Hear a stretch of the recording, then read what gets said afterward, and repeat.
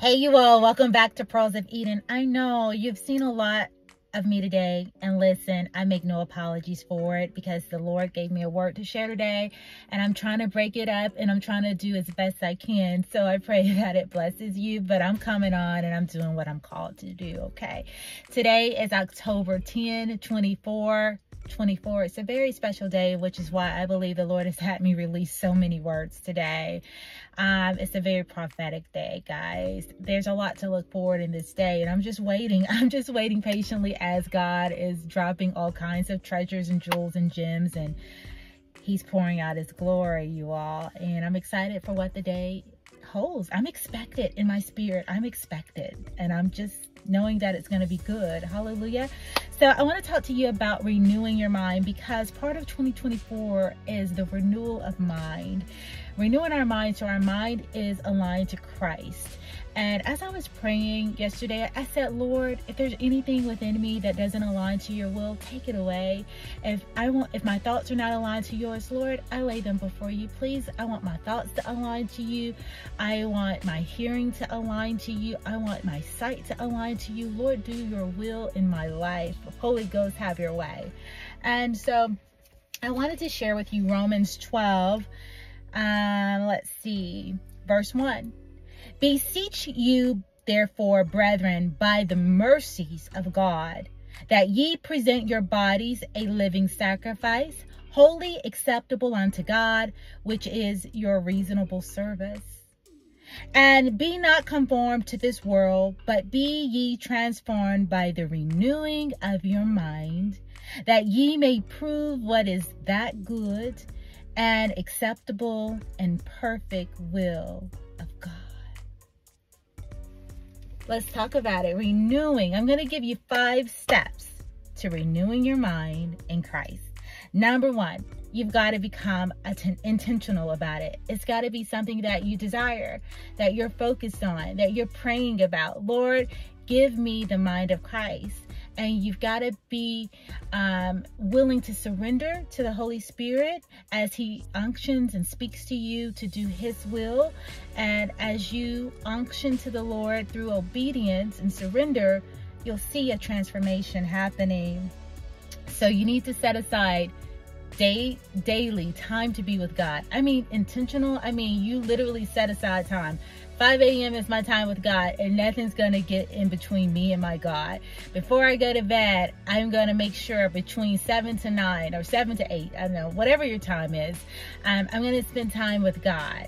And it's going to be our quiet time where I'm going to cut off every voice. I'm not going to be listening to YouTube, Instagram, TikTok, nothing. Sometimes it's good to just be in silence and just to minister unto the Lord, and He will help you to do that.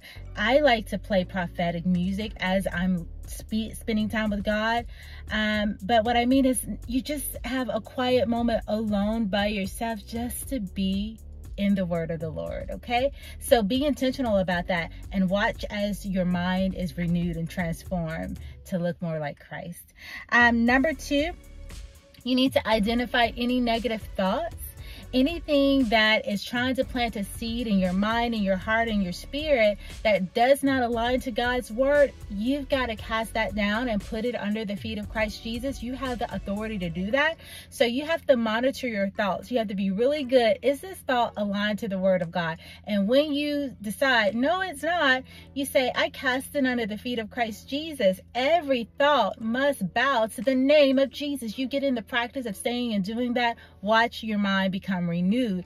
Now, you need to replace those negative thoughts that the enemy wants you to take uh, agreement to, and you need to replace them with positive um, thoughts that align to the Word of God. So, whatever your struggle is, maybe you're struggling with having peace find scripture that uh, will relate to whatever struggle you have and meditate on that, which is number three, meditating on the word of God. You need to know scripture, write it down, whatever issue you're having, you're struggling with having faith. You need more faith. Find scriptures pertaining to faith, write it down, meditate on it throughout the day. Maybe it's your peace. Maybe substance abuse, you're struggling with that. Find scriptures that can help strengthen you and meditate on those things and watch your mind be renewed. I hope that is helpful. All right, tip number four and renewing your mind. You need to surround yourself with people who are encouraging, that are positive, that inspire you to be better. And that means sometimes that is going to challenge you, right? So you don't want to hang around people that all the time think the way you do and do the things the way you do it. You want to aspire to be around people that make you better, that will get you out of your comfort zone. And I actually have a word that the Lord wants me to drop later on today. It's talking about alignment. In this season, I told you all going into 2024, you were going to have to check your inner circle, and we're still having to check and we're having to make some adjustments as we're going through this open door in this season. Today is a day of open door, and God is removing people that don't align to His will for your life, and He's replacing them also with divine connections. But in order to receive the new, you got to let go of the old. So we're going to get into that. So y'all better subscribe. If you haven't subscribed to this channel, what are you waiting for? This is going to be such a blessed word for so many. So subscribe, hit the notification bell so you don't miss it. I'm going to drop it later on today, maybe this evening. But we're going to talk about realignment and what that looks like in this year as you are allowing the Lord to prune away some ungodly alliances and relationships and that doesn't mean just people, that can be substances, that could be all kinds of things, but we're going to get into it um, out in that video for that teaching. So subscribe, hit the notification bell. Um, practicing gratitude, number five. This is huge. I have my gratitude journal.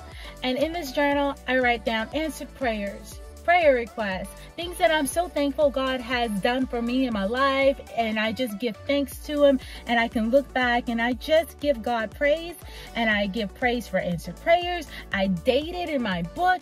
And it's such a pleasure to go back and look through all the years. I can go back and say, look what the Lord has done for me and my family and for others and it's a living testimony. And I have journals. Oh, I got so many journals throughout the years, and it is such a blessing just because you forget. How many of you know you'll forget if you don't write it down? You're like, that happened in 2020. God bless me in 2019. God so my point is get a journal and start writing down everything you're grateful for.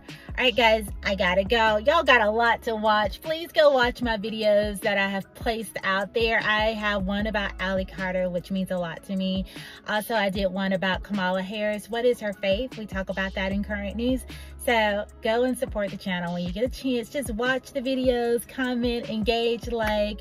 Um, thank you so much for your support. I love you all. Be blessed, be encouraged, walk in the light. God is with you. And if God is for you, no one can be against you. All right, bye.